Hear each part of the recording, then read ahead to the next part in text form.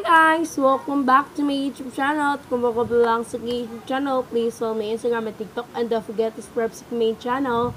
Danica O. So, let's get started. So, guys, mag-unbox po tayo ng cellphone. At ito ay iPhone iPhone 7 Plus, guys. Hmm. iPhone 7 Plus. Oh my God. iPhone So, i-open na na. Sorry, YouTube, nagagamit ako ng ganito. It's scissors. Pala. Sorry. So, malapit na siya mo. Oh, my goodness.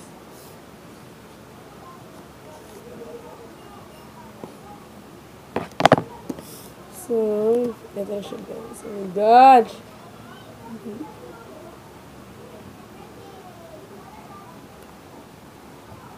Tcharan! Oh my god! Oh, oh my god! Nandito na yung iPhone. Freaky guys. Oh my god. Tingnan nyo. Ang cute!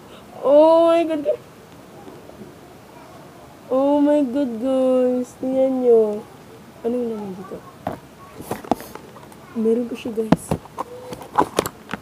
Oh my gosh! Meron charger! Oh my god, guys. Ang ganda.